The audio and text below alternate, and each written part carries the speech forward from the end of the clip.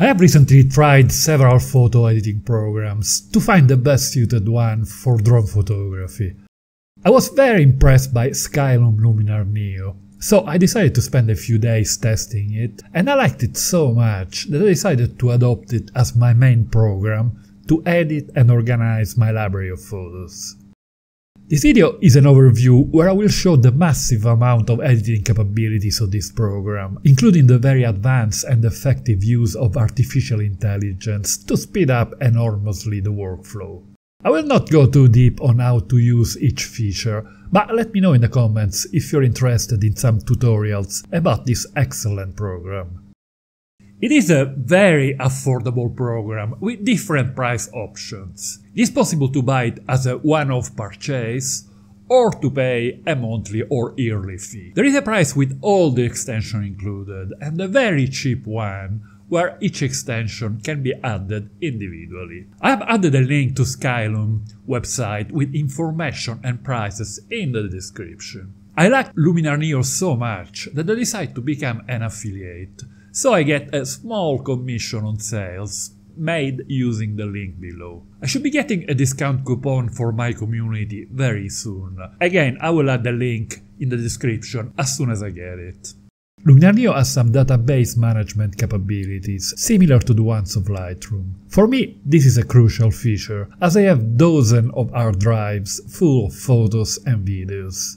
For testing purposes I have added two hard drives with about 50,000 images. Luminar has imported them in less than a couple of minutes and maintained the same structures of folder, so it is very easy now for me to navigate. Excellent! Let's start with this image. There is a host of presets available by clicking on this icon at the top in the middle, grouped under different collections. I don't tend to use presets much, but there are some really good ones, and they can be useful for users who don't do any editing and need to post their images quickly on social media. By clicking on the icon Edit at the top, we access all the tools for color correction and color grading. In the window on the right, there are several categories of tools. The tab Essential contains all the traditional ones for color grading. From the raw file, the starting point is developed to set the overall exposure, shadows and highlights. I like to open the tab curves to check the values on a nice and wide histogram. There is a smart contrast slider that works particularly well. The next tab is to set the white and black points. At any time it is possible to hit J to toggle an overlay that shows the overexposed and underexposed areas. Curves works really well to fine-tune shadows, highlight and contrast, and to adjust the interaction of red, green and blue. Further down there is a tab for the white balance, to adjust the temperature, tint, saturation and vibrance. The two tabs for sharpness and noise reduction work quite well, but I will show you later on two more effective tools based on artificial intelligence. Optic is particularly useful with drones, as often we don't have a profile for the lens, and here we can get rid of distortion and vignetting in the raw files, while the JPEG ones are generally already corrected. Transform is to be used mainly with architectural features to correct the perspective. Further down there is an excellent erase tool to get rid of unwanted elements in the image while seamlessly integrating the area with the surroundings. In the tab color we can access the HSL panel to fine-tune the hue, saturation or luminance for individual colors.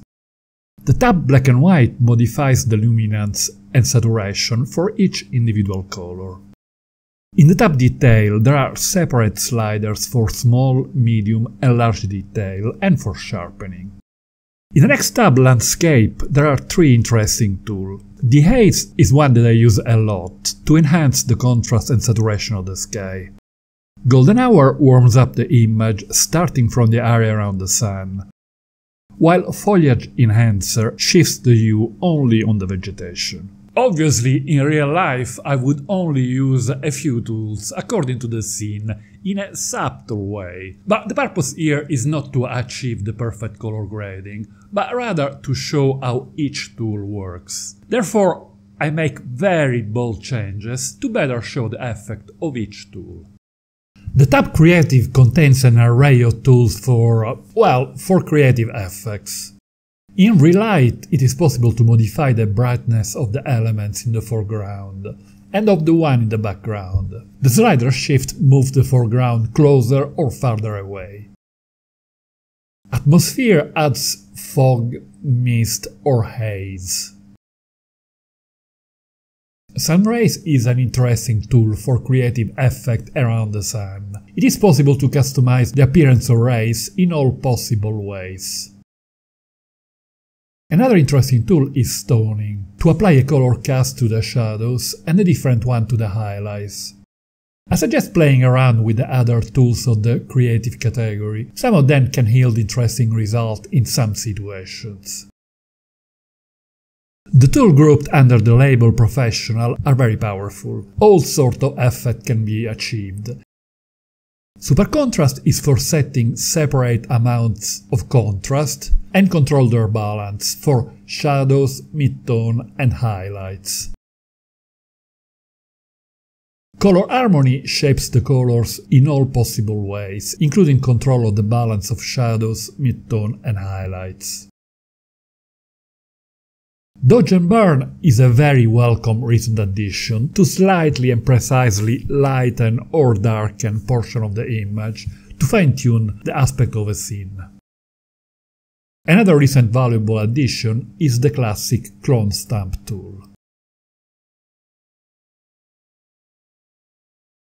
In the favorites there are two of the most interesting tools. Enhance with the two sliders Accent and Sky Enhancer tries to perform the entire color grading from a raw file. Notice that if the sky is not detected in the scene, Sky Enhancer will not be available. This tool does an excellent job in many situations. All that is needed is to add the tool Super Contrast for an incredibly fast editing job. Then there is the famous Skies replacement tool, based on artificial intelligence. In Luminar Neo it works really well. After having chosen the sky in the different themes, plenty of adjustment can be made, and finally, the mask can be tweaked to better integrate it. In the category extensions, there are three of my favorite tools, all based on AI. Noiseless works really well, getting rid of both luminance and chromatic noise without introducing any artifacts. Supersharp also does an excellent job by adding detail without any unwanted halos. There is a choice of three levels of strength and I suggest using the low value in most cases. Adding sharpness to an image is not everyone's cup of tea, it is often a matter of personal choice. It's not something to use on every occasion, only when the image calls for it. As an example, I find that photos taken with the Mini 3 or Mini 3 Pro in the normal 12 megapixel mode are excellent, but lack a bit of detail. Supersharp is very useful to add detail in certain areas, maybe masking out other portions of the image. Magic Light is great fun to use and is excellent to add atmosphere to some images. When this tool is selected, it analyzes the scene and only gets ready to use if some lights are detected. The sun, the moon, street lamps, car lights, and so on. It is then possible to apply star effects and glow of any shape or strength around the light source.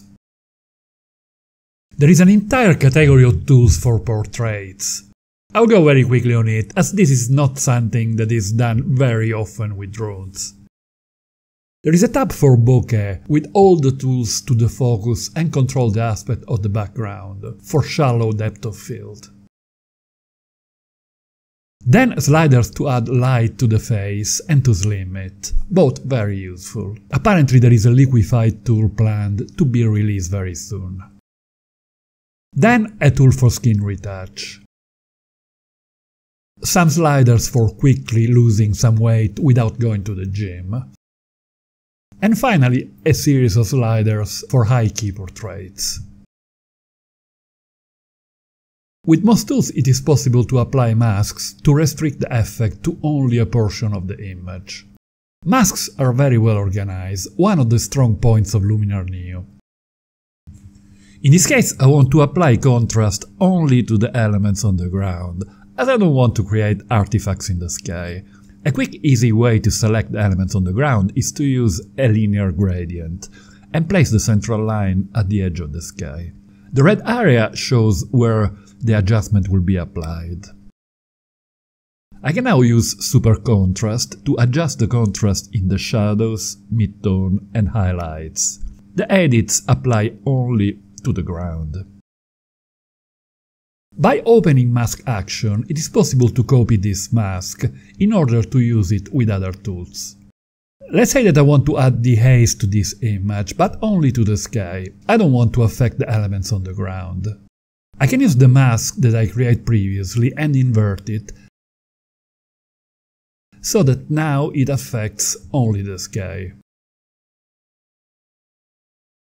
If an effect has to be applied to the whole image, by going to Mask Actions and choosing Fill, the mask will cover the whole image.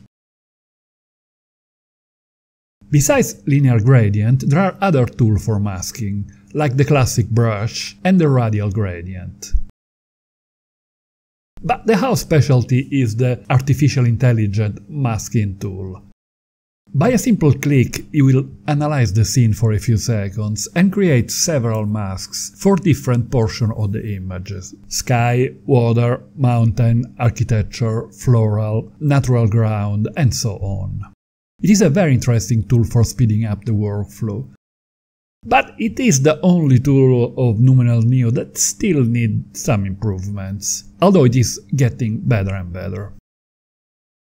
By clicking on Edit, we access all the adjustments made to the image with the different tools. It is possible to hide each of them for a before and after comparison, to reset the value or to erase them. Like in Lightroom, the workflow is non-destructive. In other words, it is possible to return to the original file as it was before. In the Crop tab there is a composition button based on artificial intelligence. It tries to find the most interesting framing according to the rule of thirds, and the results are often very interesting. There is also an automatic button to straighten the horizon. Luminar is also a powerful multi-layer program, capable of separating a subject from the background to replace it with a different one, or to work with composite images. It would take too long to analyze here how long Luminar handles layers. It will be the subject of a specific video. There is an HDR merge option to blend several images taken in automatic exposure bracketing. It is a very useful feature to improve images shot in the direction of the sun, although Luminar Neo is capable of retrieving a great amount of information from the shadows, even in single photos. So merging is not always needed. There is also the possibility of merging to HDR a single photo, which is unusual, and the results are often really good. For users who rely on a workflow based on Lightroom and Photoshop, Luminar can be used as a plugin for these packages, adding plenty of the great functionalities we have seen so far. I've been having great fun testing and experimenting with Luminar Neo. I'm now willing to go out more and shoot photos. Post-processing with Luminar Neo is very enjoyable. It is a very intuitive and easy to learn program, and the results I get are in many cases better than with any other editing program I tried, in a fraction of the time. On most occasions the response of the program is fast. The only functionalities that take a bit of time are the one heavily based on AI, but this is understandable due to the number of calculations needed. But are there any limitations or flaws? Well, there are two feature missings panorama stitching and time lapses. It would be nice to have them, but it's not a major issue, as there are plenty of other tools that can be used, even some good ones for free. The only tool that needs some more work is the Automask, but the team Skylum has shown the ability to constantly improve their program. Luminar Neo is now the program I wholly recommend to the vast majority of users. and it is also great fun to use. Click on this link to watch my video about photography with the Mini 3 Pro and don't forget to hit the like button if you find this video interesting. Thank you.